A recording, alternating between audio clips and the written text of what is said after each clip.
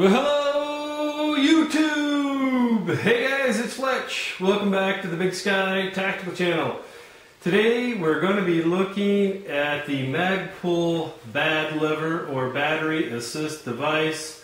Uh, another one of those uh, kitschy uh, marketing acronyms that Magpul likes to use. But basically what this is, is just an extension of your slide release and your bolt hold open here on the side of your AR platform rifle. And basically this lever here uh, mounts on the top here and then wraps uh, underneath here into your trigger well so that you don't have to use your left hand to uh, slide the, excuse me, to release the slide after you've done a reload. So uh, bear with me a second here and I'll get the camera resituated to get a close-up of the work that we're going to be doing here. So uh, what the kit comes with here is you get uh, your screw that already has a little bit of blue Loctite on it and a Torx wrench that you're going to need to tighten the screw in. And then you get uh, the two-piece lever kit here. There's the top and then the back plate right here slides into it. and uh, if you look at the back side of it there, you can see how it molds and fits around it pretty nicely. And so what you're doing is this is basically just going to uh, clamp around your um, bolt release and your catch for it. Kind of it's uh, ping pong paddle, you know, back and forth. So First thing we're going to do is we're just going to take this piece here and slide it underneath and it lines up um, and if you hit the release on your uh, bolt catch a little bit it'll also allow it to slide under there pretty easily. Then we're going to take the top piece and just slide it over the top and make sure that our holes are lined up. Hopefully I'm not getting my big fat head in the way.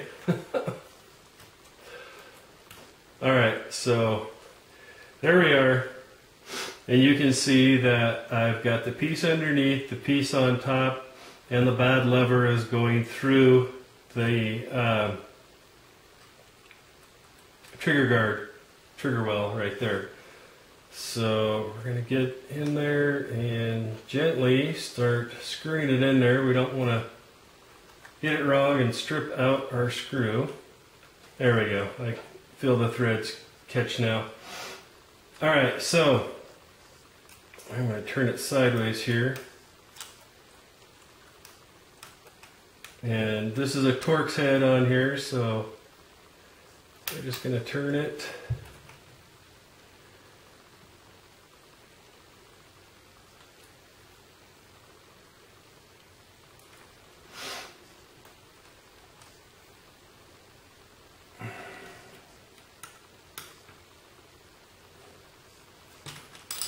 And one thing that I found in working on guns, anytime that you get a screw that has dried on um, Loctite on it, it's going to give you a false sense of when it's actually tight and when it's not. Because when you get to the part to where the dried on Loctite is passing through the threads, it's going to be a lot more difficult at that point than it is at, at any other point. So uh, that's just something to kind of keep in mind for those of you that might be uh, possibly a little bit newer to working on guns.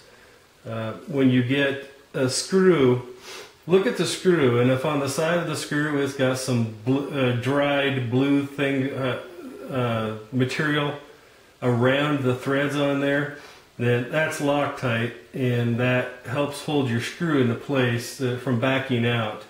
And so when you're tightening it, tightening a screw in that has it on there, it's going to be pretty easy to screw in until you get right to the point to where the Loctite is. And then you're going to have to screw through that and it's going to be a little bit harder at that point to get it through. So we've got it on there. And if we look at the top, it's all mounted on there flush, so I know that it's on there right. It just, what the bad lever does is it's just creating an extension on your bolt catch and release so that you can do the functions using your right finger here in the inside the trigger guard and uh, you know you can still do the bolt catch so you would push up on it and when you release it you push down so let me flip it over here and so here's my finger and here's the bad lever right there so what we're going to do if I want to uh, lock it back I'm going to pull back on the charging handle push up on it and that's going to lock it into place. So now it's locked back. And you can see how the bad lever is now pushed up. And so if I were to reload and I just put a, a magazine of fresh rounds in there, then I would simply push on the bad lever and that releases the bolt and it slides forward. So that's it. It's basically just an extension of your um, bolt release and bolt catch. That's it. It's that simple, that easy. That is the Magpul bad lever, battery assist device. Well, thanks for joining me today, guys. I greatly appreciate it. This is Fletch with the Big Sky Tactical Channel, signing off.